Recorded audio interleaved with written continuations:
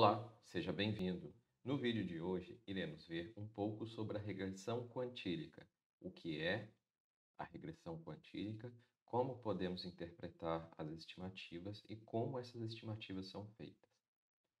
Normalmente, nós utilizamos os mínimos quadrados ordinários quando estamos tentando analisar a relação entre variáveis explicativas e uma variável dependente.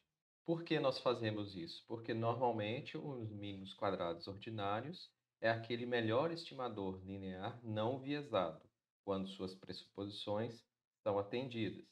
E é importante destacar que os mínimos quadrados ordinários nos dão uma análise em torno da média. Então, dependendo dos dados, a análise da média pode não ser adequada, ou dependendo até mesmo do propósito do estudo, principalmente aqueles que envolvem desigualdade. Nesse sentido, a regressão quantílica vai permitir analisar toda a distribuição condicional de uma variável. Então, quando estamos analisando a desigualdade da distribuição de renda, por exemplo, e os, algumas variáveis que estão relacionadas a ela, pode ser interessante que nós desejamos analisar quais são os efeitos dessas variáveis sobre a parte superior e inferior da distribuição, ou seja, quem tem uma maior renda e quem tem uma menor renda enquanto os mínimos quadrados ordinários analisa o efeito apenas pela média, o valor médio. E assim nós conseguimos, por meio da regressão quantílica, analisar a resposta da variável dependente entre diversos quantis e determinar se a resposta varia entre eles. Nós já vamos ver um exemplo, mas antes vamos ver o que é um quantil. Um quantil divide a observação em grupos de mesmo tamanho. Então, se estamos trabalhando com quartis, nós temos os dados divididos em quatro grupos. É importante destacar que os dados, por exemplo, a distribuição de renda, inicialmente é organizada de forma crescente. Dividimos esses dados em quatro grupos. Então, o primeiro grupo é aquele que teria menor renda, enquanto o último grupo seria formado por aqueles dados pela, pelos indivíduos que têm a maior renda. Os DCIs dividem os dados, como o nome já diz, em 10 grupos. Então, os dados são organizados do menor para o maior, em ordem crescente. Esses dados divididos em 10 partes, o último grupo seria formado apenas por indivíduos de maior renda. E, e podemos ter também os centis ou percentis, que vão dividir os dados em 100 grupos. Como podemos interpretar esses dados? Então, aqui vou utilizar os microdados da PNAD de 2005 para São Paulo e pegar o rendimento mensal familiar para as unidades domiciliares. Isso vai excluir o rendimento de pensionistas, empregados domésticos, parentes dos empregados e pessoas com menos de 10 anos de idade.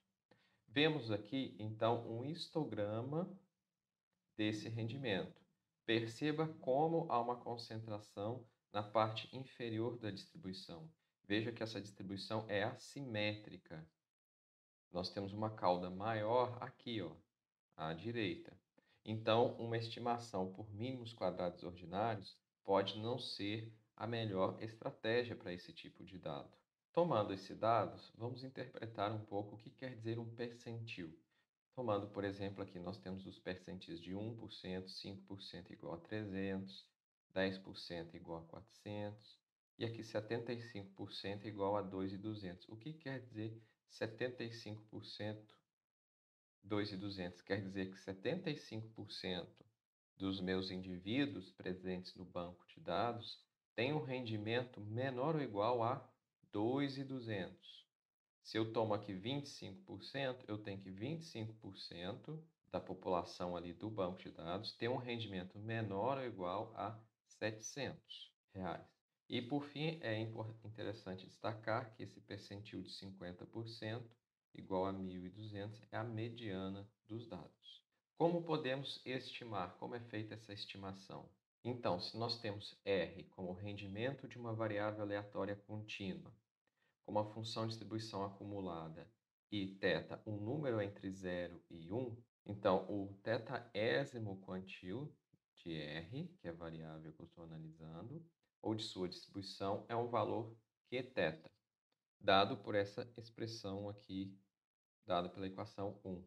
Então, a probabilidade do rendimento ser menor do que QP é igual a FQP, que é simplesmente igual a θ. Então, por exemplo, se eu tenho um Q 0,75 igual a 2,200, a proporção da população com rendimento abaixo do rendimento de 2,200 é igual a 0,75 ou 75%.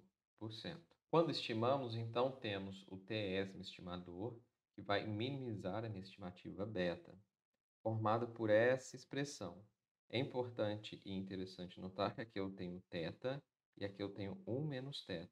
E aqui eu tenho menor e aqui eu tenho maior ou igual. Assim, para cada valor de θ, teremos um valor diferente para beta, porque é atribuído um peso diferente às observações, dependendo do quantio considerado. Então, se nós temos um quantio de 0,9, o maior peso é dado na previsão das observações em que y é maior ou igual a xb, do que aqueles em que y é menor. Perceba aqui, então, nós temos θ igual a 0,9 aqui.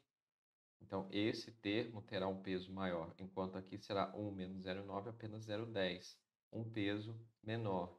E é isso que nos permite estimar os valores de beta para toda a distribuição.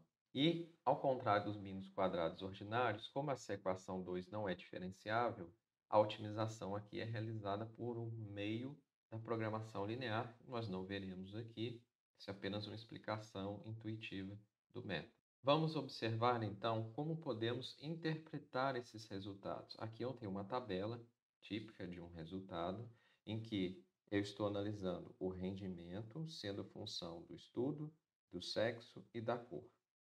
Então perceba que estudos são anos de estudo, sexo é uma variável binária que assume um se o indivíduo é masculino, zero caso contrário, e cor assume valor 1 se o indivíduo é branco e zero caso contrário. Nesse quadro, nós temos as estimativas para a regressão quantílica e para os betas, para o quantio 0,10, 0,50, que é a mediana, e 0,90.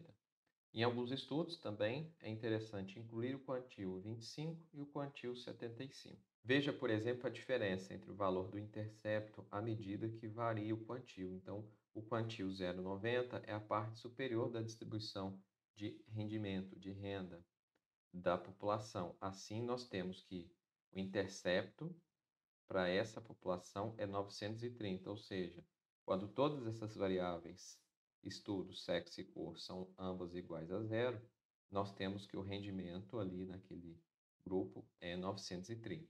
Interessante observar como, por exemplo, a variável estudo varia ao longo dos quantis. Então, para o quantio Q10, um ano a mais de escolaridade aumenta a renda em apenas 33 reais. Então, aquelas pessoas com menor renda, que é o quantio 010, um ano a mais de estudo aumenta a sua renda em apenas 33 reais. Já o quantio 90, é aquele grupo formado por pessoas, indivíduos de maior rendimento, um ano a mais de escolaridade aumenta a renda desse indivíduo em 278 reais. É uma grande diferença. E aqui cor também nós vemos uma diferença do efeito de acordo com a renda. Se a pessoa é branca, então ela tem uma renda superior a um não branco, isso para as pessoas de menor renda em 105 reais. Já se estamos analisando apenas o grupo de maior rendimento, essa diferença é maior. Então, um branco receberia um valor R$ 1.177 superior a um não branco. Então, nós vemos que essa diferença de efeitos entre quem recebe mais e quem recebe menos, isso enriquece a análise, principalmente nesse tipo, quando estamos analisando a questão de efeitos desiguais. A desigualdade de renda é muito interessante utilizarmos a regressão quantílica, mas somente, não apenas ela. Então é interessante utilizarmos a regressão quantílica quando esperamos que haja um efeito diferente na parte superior e na parte inferior da distribuição. Isso permite-nos interpretar melhor e ganhar um, um pouco mais de conhecimento sobre as relações das variáveis. Contudo, nós vemos aqui, apenas observando visualmente, essa diferença dos coeficientes. Devemos efetuar um teste para a igualdade das inclinações dos coeficientes. Programas já vêm com esse teste também disponível. Então, aqui, por exemplo, nós vemos a estatística F para estudo e cor com p-valor menor que 2e elevado a menos 16, ou seja, isso aqui é zero. Isso quer dizer o quê? Quer dizer que esses dois coeficientes, de fato, são diferentes entre os quantis que nós consideramos, o 10, o 50 e o 90, conjuntamente. São testados para os três conjuntamente. Isso ao nível de significância a 1%. Já a variável sexo não foi significativa, a 1, 5 ou 10% de significância. Então, sexo, ao longo de toda a minha distribuição, não teria um efeito diferente para o rendimento. Ou seja, uma população, uma, uma pessoa que está na parte inferior, que recebe o menor rendimento, e uma que recebe maior rendimento, não haveria diferença no rendimento dessas pessoas em função do sexo. Então, o indivíduo sexo masculino tenderia a ganhar a mesma quantidade na parte superior como na parte inferior. Não quer dizer que o sexo não influencia a renda, quer dizer que apenas o sexo não tem diferença para influenciar a renda sobre cada um dos grupos, dentro de cada um dos grupos. Já por outro lado, o estudo tem uma relação diferente, assim como a cor.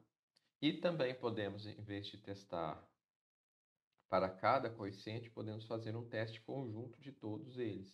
E já no teste conjunto, nós encontramos um p-valor menor do que 2,2e elevado a 16, que é igual a zero. Ou seja, analisando todos conjuntamente, os coeficientes são diferentes, as inclinações são diferentes entre os quantis.